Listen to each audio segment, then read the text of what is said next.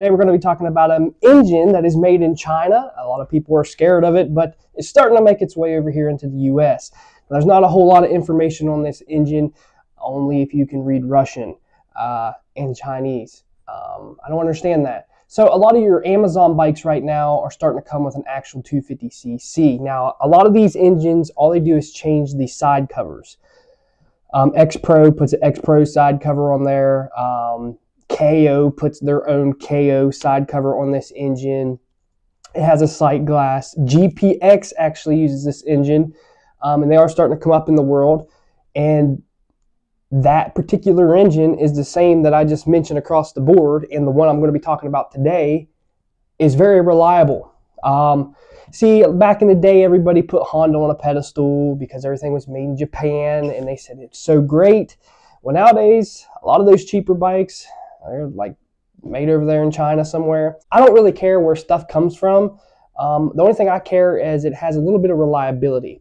Now, the particular engine that we're going to be talking about today is an air-cooled 250cc.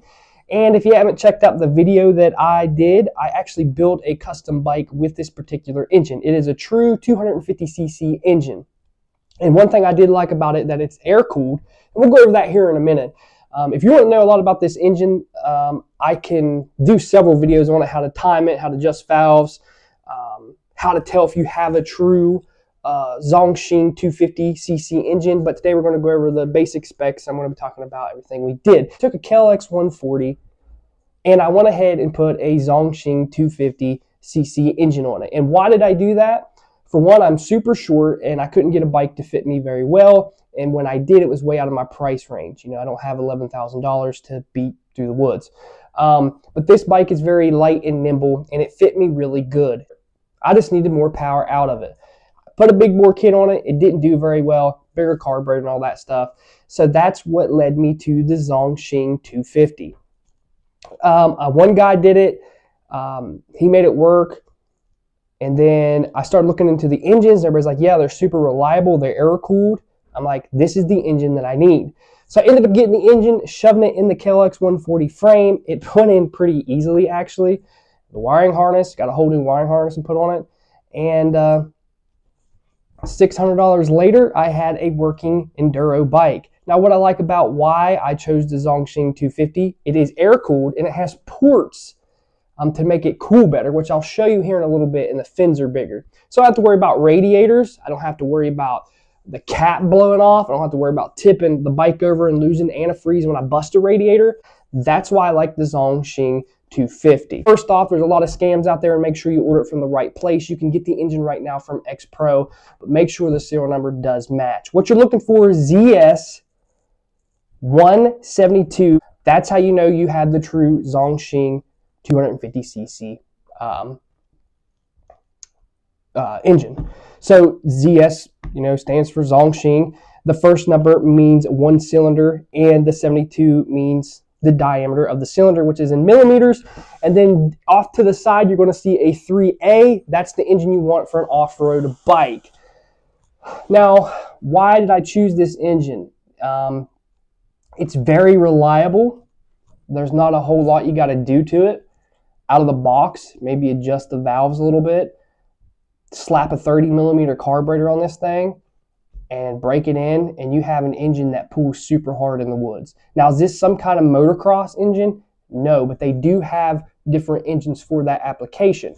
Like I said, I wanted to stay old school with the air cool um, and stuff like that. But as you can see, this particular engine has unique features. The head has really wide fins on it, right? So it really catches that air. And if you look on the front, there's a big port that goes through the front, clear to the back, and it comes through the side, and that lets air through there to cool the head. I can give you tons more information on this engine if you would like. I'd like to make several videos on it. But I just wanted to introduce you to this engine because it's starting to turn a little bit of heads over here in America. You can get big bore kits for it. Um, and like a four valve head, but you're only going to gain like one or two horsepower um, you can have a little bit of bragging rights with that, but you can do all kinds of configurations with the head because this the bottom of this engine is used for everything, and they just stack whatever they want on top of it. basically. It's kind of like a universal engine. So they have an air cooled and a liquid cooled version. Uh, they have all kinds of versions uh, versions of this engine. They have um, a counterbalanced engine, which that's not really for my application. That's going to be for a street bike application because it's a little bit more tamer because you have have it balanced internally and it's going to slow you down a little bit. Now, when we go to specs, everybody wants to know the horsepower. Oh, this website says this, this website says this. Straight out of the Zongshen factory, um, they did mention that the American people always say this engine pushes 20 horsepower. Um, and he flat out said that the true horsepower out of this engine is actually 19. So he said by doing what I did, I should be around 20 to 21 horsepower by porting and polishing it and putting a 30 millimeter carburetor. And if it's tuned correctly, I should have about 20, 21 horsepower out of this engine, which is plenty enough for a KLX 140.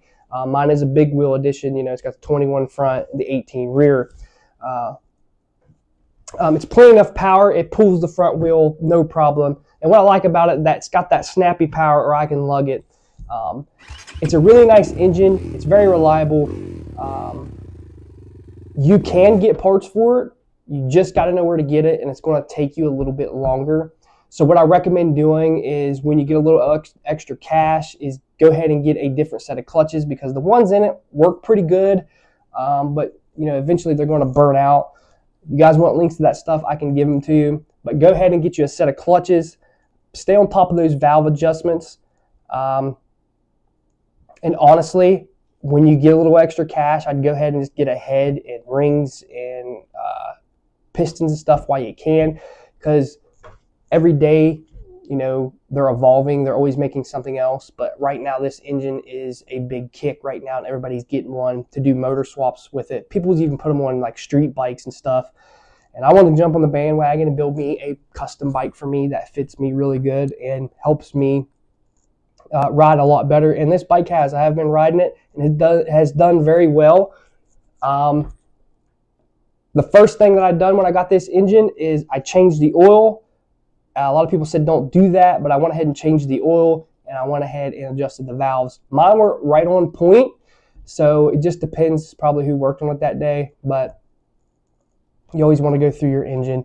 So I just want to introduce this engine to the internet in English because a lot of it's in Russia and Chinese. Uh, so there'll be a lot more on this engine. I just want to introduce it to you, and if you're interested in it, I can definitely give you more info on top dead center, valve adjustments, so on and so on. So hope you guys enjoyed this video. See you guys next time.